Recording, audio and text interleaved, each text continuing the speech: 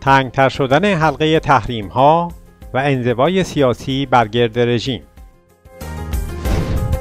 این روزها ایادی و مهرهای رژیم خیلی درباره خطرناک بودن وضعیت رژیم صحبت می کنند و در صحبتهایشان اعترافهای قابل توجهی می کنند و نکات جالبی را می گویند. یکی از آنها پاسداری به نام مرتزا کشکولی سرکردی سپاه ضد حضرت ابوالفضل در لرستان است که گفته این شرایط را به وجود آوردند که شامل عملیات روانی سنگین و مهیب، تحریم ها و زخم های ناشی از سوء مدیریت در کشور هستند. اشاره این پاسدار به این شرایط و سختی و صعوبت آن این روزها که خیلی از مقامات و مهره های حکومتی هم آن را بیان می کنند جای تحمل بیشتری دارد. این شرایط مشخصاتش چیست که این رژیم را اینطور به حراس انداخته؟ گزارشی را در این مورد ببینید.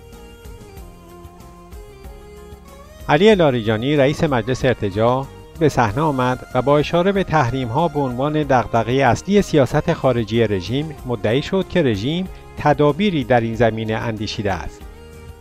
تلویزیون رژیم 21 مرداد ولی ما همه پیشبینی هایی رو که مقدور است برای اینکه سطح این ماجراجویی رو کاهش بدیم داره انجام میدیم البته برخیش باید ساماندهی بشه که داره میشه. لاریجانی در ادامه از آن کرد نظام در وحشت از ظرفیت انفجاری جامعه از رویای اتمیش کمی عقب نشسته است. او گفت ما رد نکردیم. چرا رد نکردیم؟ برای اینکه ما توجه داشتیم به فضای کسب و کار آسیبی نرسد به معیشت مردم آسیبی نرسد. انگیزه دیگری نبود.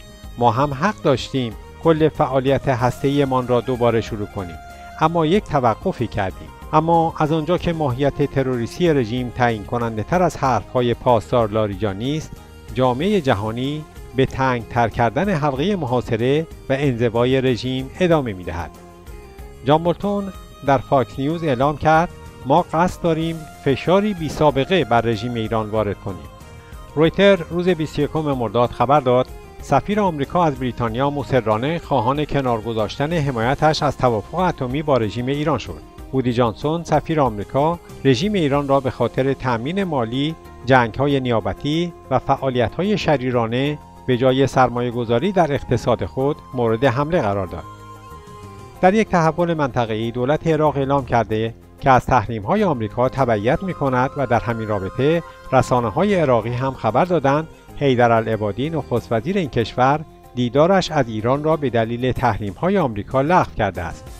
رژیم در واکنش به این خبر ادعا کرد که خودش این سفر را لغو کرده است.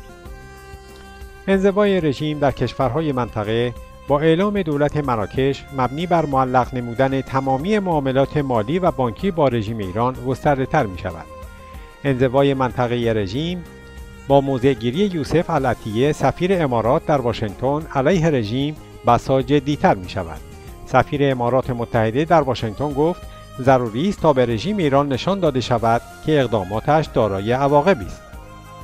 روزنامه تایمز مالی انگلستان هم 21 مرداد نوشت رژیم ایران در مقابل فشارهای اقتصادی سر خم کرده است و می نویسد که این فشارهای اقتصادی رو به افزایش است. ناظران مسائل ایران می‌گویند این وضعیت به اعتبار وجود قیام مردم ایران است که خطرناک می شود و خامنه ای پیش از این شرایط موجود را یک پیچ تاریخی توصیف کرده است.